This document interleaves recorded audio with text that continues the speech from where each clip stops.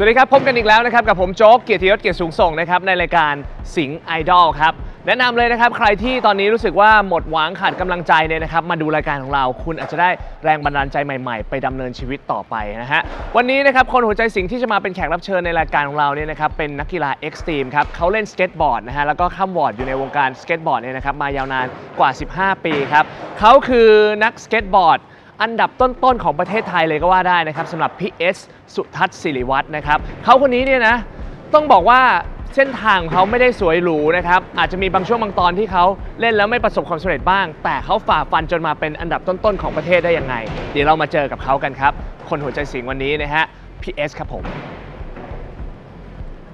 สำหรับเรื่องราวของบุคคล ผู้เป็นไอดอลของเราในวันนี้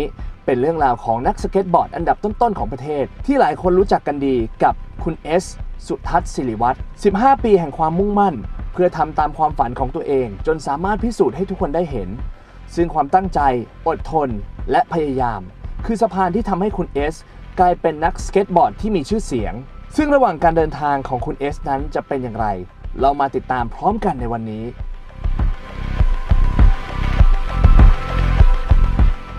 และตอนนี้ครับผมก็อยู่กับพี่เอสแล้วนะครับนักกีฬาเอ็กซ์ตรีมที่ต้องบอกว่าเป็นอันดับต้นๆของเมืองไทยเลยนะครับสวัสดีพี่เอสครับครับ พี่เอสครับ ก่อนอื่นต้องขอแสดงความยินดีก่อนเลยนะพี่ เพิ่งได้รางวัลมาด้วยใช่ไหมฮะใช่ครับ Best Trick ของสิงห์ไลฟ์เอ็กซ์ตรีมใช่ไหมครับปีนี้เลยนี่ใช่ป่ะปีนี้นะครับ2012 เดือนที่แล้วนี่อ๋อเดือนที่แล้วใช่ไหมครับ เป็นยังไงบ้างพี่ไอ้การแข่ง Best Trick นี่มันคือยังไงพี่ การแข่ง Best Trick นี่ก็คือการที่เราจะ โชว์ท่ายากออกมาท่าที่ best ที่สุดนะ ตอนนั้นตอนที่แข่งอ๋อก็คือเราต้องทำท่าให้เหนือกว่าใครอะไรเงี้ยแล้วเป็นไงรางวัลล่าสุดนี้ได้มารู้สึกไงบ้างฮะก็ดีครับ รู้สึกดีอยู่ทุกรางวัลอยู่แล้วนะ ก็คือแบบจริงๆแล้วเหมือนกับว่าท่านี้คือ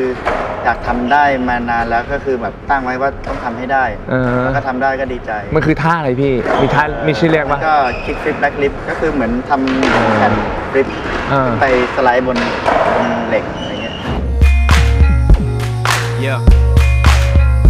แต่ก่อนอื่นผมขอย้อนกลับไปถามตั้งแต่สมัยเด็กๆ พี่เลยได้ไหมฮะ พี่เล่นสเก็ตบอร์ดมากี่ปีแล้วพี่ ประมาณ 15 ปี 15 ปี ก็ตั้งแต่แบบมัธยม ใช่ครับ แต่ว่าไอ้กีฬาเอ็กซ์ตรีมนี่มันก็มีหลายอย่างนะทำไมถึงตอนนั้นถึงเลือกเล่นสเก็ตบอร์ด ที่มันเป็นสเก็ตบอร์ดเพราะว่าตอนนั้นผมว่ามันเท่นะ แล้วก็แบบว่ามันเราพกไปไหนสะดวกไถไปมาเออ รู้สึกอิสระแล้วก็มันกระโดดได้มันก็รู้สึกแบบเฮ้ยมันแปลกมันตื่นเต้นอะไรเงี้ยมันรู้สึกหลายอย่างอะ ทุกวันนี้เล่นยังตื่นเต้นอยู่เลย มันแปลว่าดีดิถ้างั้นอะดีเพราะว่าถ้าเรารู้สึกไม่ตื่นเต้นแล้วเราก็จะรู้สึกแบบไม่อยากเล่นแล้ว เบื่อเออใช่ป่ะใช่ อย่างนี้เท่ากับว่าเราก็ยังมีแรงบันดาลใจที่จะเล่น อยากจะทำท่ายากเหมือนอย่างที่พี่บอกว่าไอ้เบสทริกที่เพิ่งได้มานี่ก็คือแบบเป็นท่าที่ฝันไว้นานแล้วว่าต้องทำให้ได้ทำไม่ได้ใช่ไหมใช่ปกติเราก็ทำได้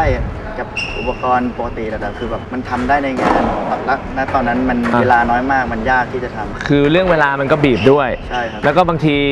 เรื่องของความกดดันนี่เกี่ยวไหมพี่กดดันมากเกี่ยว เกี่ยวเหมือนกันใช่ป่ะบางทีท่าที่เราทำได้เวลาซ้อมปกติ ไปเวลาแข่งจริงบางทีก็มีไม่ติดไม่ได้เหมือนกันใช่ครับแล้วพูดถึงเรื่องตอนหัดเล่นเนี่ยพี่ไปเริ่มหัดเล่นยังไงมีใครชักชวนตอนหัดเล่นเลยครั้งแรกๆเลยเหมือนกับว่าหัดเล่นกับเพื่อน แล้วก็ ยังไม่มีสเก็ตบอร์ดของตัวเองเห็นเพื่อนนำมาเล่นแล้วก็เฮ้ยไปขอเล่นด้วยเพื่อนสี่คนเล่นสเก็ตบอร์ดอันเดียว คือตอนนั้นก็คือยังยังไม่ไม่ได้ซื้อเป็นของตัวเองกันหมดเลย ใช่ ก็เลยเฮ้ยเอ้ยมาเล่นหน่อย พอซ้อมซ้อมลองแล้วครั้งนั้นก็เลยรู้สึกชอบ พอเริ่มหัดเป็นจริงๆมันชอบอยู่แล้วพอเราแต่พอเราเริ่มเป็นเราก็อ่า แบบเฮ้ยไม่ได้กูต้องแบบเอามาบ้างไปหามาเป็นของตัวเองอะไรเงี้ยแล้วไปหามันเป็นของตัวเอง ก็ไปซื้อเก็บตังค์ซื้ออะไรเงี้ย ต้องถามกันที่บ้านโอเคไหมตอนนั้น เพราะว่าสเก็ตบอร์ด ถ้าคนทั่ว ๆ ไปมอง คนนอกมองเข้ามา หรือยิ่งเป็นผู้ใหญ่ด้วยมองเข้ามาผมว่าจะมองสเก็ตบอร์ดว่าเฮ้ยเป็นแหล่งแบบเฮ้ยมั่วสุมเปล่าวะเออ ไปสูบบุหรี่กันน่ะเออของเด็กๆอะไรเงี้ยมันเป็นแบบเหมือนเหมือนไม่ใช่กีฬาผู้ใหญ่ไม่ได้มองเอว่าอมันเอเป็นอกีฬาเออใช่อะฟุตบอลโอเคเฮ้ยเราไปเล่นเลยไปไปเล่นบาสเล่นเล่นอะไรแบดอะไรเงี้ยโอเค หัวแตกแขนหักอ่าเจ็บขึ้นมาอะไรเงี้ยค่อนข้างจะแบบเหมือนไม่ได้บอกความจริงที่ว่าทั้งหมดอะไรเงี้ยอ่าเราอาจจะเล่นแบบเล่นไทยธรรมดาอะไรเงี้ยเราไม่ได้โลดโผนมากมายบอกเขาอะไรเงี้ยอ๋อ เวลาเขาถามนะ แล้วเขาไม่ถามก็ไม่บอก เดี๋ยวเขาจะแบบไปคิดมกเดี๋ยวเขาจะคิดมากเราก็บอกเอ้ยถ่ายถ่ายถ่ายตามถนนเฉยๆไม่ได้ไม่ได้ขึ้นแบบลาวขึ้นแบบอะไรสูงๆเล่นท่ายากให้มันหัวแตกขนาไม่ดตอนซื้อนี่ยังแบบจริงๆแล้วมันมันแพงนะครับพันกว่าบาทอะไรเงี้ยอ้าวแล้วอย่างนี้ถ้าแข่งขันก็ต้องยิ่งแพงขึ้นไปอีกดิแพงครับมันเป็นแผ่นไม้ถ้าเกิดเราซ้อมหนักมันก็หักหมดอายุการใช้งานมันหักมันอะไรเงี้ยลูกปืนก็ต้องเปลี่ยน อ๋อเท่ากับเราก็ต้องเปลี่ยนทุกๆเดือนใช่สำหรับเด็กอายุ 15 มันก็ลำบากเหมือนกันเนอะก็ซื้อมาครั้งแรกเก็บตังค์กว่าจะได้ ขอตังค์พ่อแม่ไม่ได้พี่ ก็ขอตอนนั้ค่าน ขนมอะไรเงี้ยแต่แบบอยู่ๆขอซื้อสเก็ตบอร์ดเลยเป็นพันนี่คง ไม่ได้ แต่คือเราก็ยังไม่ได้ลองขอแต่คือเราก็รู้อยู่แล้วว่ามันยากแล้วเกรงใจถึงถ้าสมมติเขาให้เขาอาจจะบ่นไปอีกนานอะไรอย่างงี้ใช่ป่ะอะไรประมาณนั้นที่บ้านจะห่วงเรื่องเรียนมากกว่าพวกเจ็บไม่ค่อยเท่าไหร่มันเด็กดื้ออยู่แล้วอย่างนี้เท่ากับเขาก็ไม่ไม่ได้สนับสนุนเราในการเล่นดิพี่ หรือว่าเขาโอเค จริงๆจะว่าไปช่วงนั้นเขาก็ไม่ได้สนับสนุนนะเพราะว่าเขายังไม่ได้มองเห็นคุณค่าทางแบบที่เราทำ เขาอาจจะมองว่ามันไม่ได้เป็นกีฬาใช่ไหมทำไมไม่ไปเล่นบาสเล่นบอลอ่าอ่าแล้วก็เราก็ติดมันมากด้วยอ่าเสียเวลาเสียการเรียนหรือเปล่าอะไรเงี้ยอ่า เออทำไมไม่รู้จักอ่านหนังสือบ้าง Flowers lead to the sun. แล้วพอเขาเขาพูดมาอย่างนี้เรารู้สึกยังไงอะพี่ ตอนนั้นอะ มันก็วัยรุ่นอะมันไม่สนใจอยู่แล้วอะก็ทำไปแต่แบบกลัวเฮ้ยพ่อแม่บ่นเวลาไปไหน จะไปเล่นสเก็ตก็อ๋อเดี๋ยวไปทำงานทำอะไรนี้ก็ว่ากันไป แล้วก็แบบหลีกเลี่ยงนิดหน่อยหรือค่อยคุยกับพ่อแม่เท่าไหร่อ้าวเลยกลายเป็นไม่คุยกันไปซะอีกเพราะว่าเราเราไม่รู้จะพูดยังไงเนาะ ที่บ้านเขาก็พ่อแม่เขาก็ทำงานตลอดเวลานะเออ ไม่ได้อะไรมาก จุดเปลี่ยนตอนนั้นพอเริ่มเล่นเก่งขึ้นกี่ปีพี่กี่ปีกว่าจะเริ่มเข้าแข่งจริงจัง ประมาณในระยะ 3 4 5 ปีเหมือนกับว่าไปร่วมงานแล้วพอ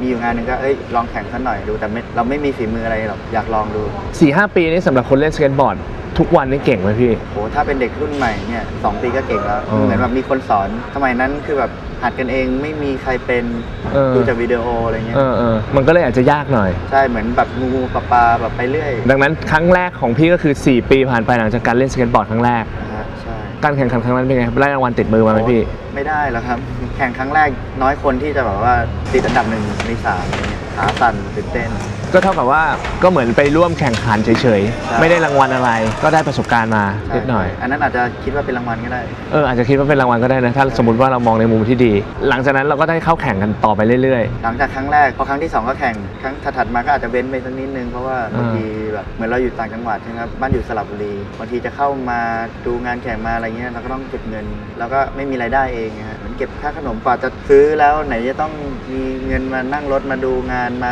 สมัครแข่งอีกมันยากมากๆก็เลยอาจจะนานๆแข่งที ใช่ และไอ้ครั้งแรกที่เราเริ่มเริ่มได้รางวัลนี้มันอีกนานไหมหรือว่าแรกๆนี่แข่งแล้วเป็นนานมีแต่นาน ท้อแท้แพ้ตลอดอะไรมัเงี้นยก็ไม่ท้อเพราะว่าเราไม่ได้คิดอะไรอยู่แล้วตอนนั้น อ๋อเราเอามันอย่างเดียว ใช่ใช่ประมาณนั้นเลยแบบไม่ได้หวังช่างมันแข่งไปเถอะ แต่ว่าช่วงแรกๆนี่คือผลงานไม่ดีเลยใช่ป่ะถ้าสำหรับการเข้าไปแข่งขัน ถ้าไม่ดีก็คือไม่ได้อะไร ไม่ได้อะไรเลยอ่า เหมือนเรายังจับจุดไม่ได้ด้วยว่าเล่นยังไงถึงจะชนะเออเหมือนยังคิดไม่เป็นอะไรเงี้ยแล้วมีมีแบบ feel นี้มันมีแบบท้อเลิกไปไหมพี่แบบเฮ้ยไม่เอาแล้วดีกว่าวะกูแม่งแข่งไปเป็น 10 งานแล้วแม่งไม่ได้ติดอะไรเลยก็